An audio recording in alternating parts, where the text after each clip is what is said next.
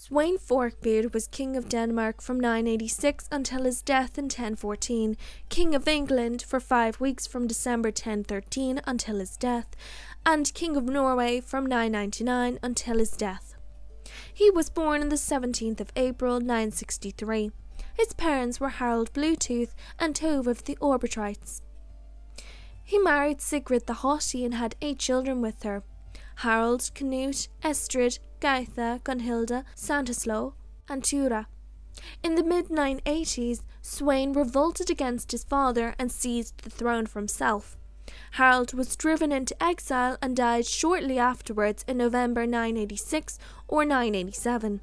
Harald had already established a foothold in Norway, controlling Viken in 970. He lost control over his Norwegian claims following his defeat against a German army in 974.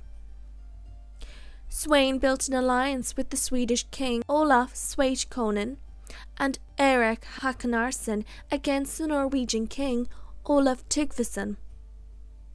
One motivation behind this alliance was the fact that Olaf had slapped Sweyn's wife. The Allies attacked and defeated King Olaf in the western Baltic Sea when he was sailing home from an expedition. The victors divided Norway between them. Sweyn regained direct control of the Viken district. Eric and Sweyn proved strong, competent rulers, and their reign was prosperous. Many sources say they became Christians, but allowed their people religious freedom, which led to backlash against Christianity. In 1002, Sweyn decided to invade England after the St. Brice's Day massacre, where the Danes were killed under orders from Ethelred the Unready.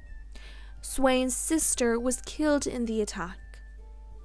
Sweyn negotiated an agreement with Duke Richard II of Normandy, whereby the Danes gained permission to sell their spoils of war in Normandy. Sweyn campaigned in England from 1003 to 1004, but left in 1005 due to a famine. Further raids took place between 1006 and 1012. In 1013, Sweyn led his forces in a full scale invasion of England. The English put up a good fight but were overpowered by the Danes. King Ethelred fled to the Isle of Wight and Sweyn took England for himself.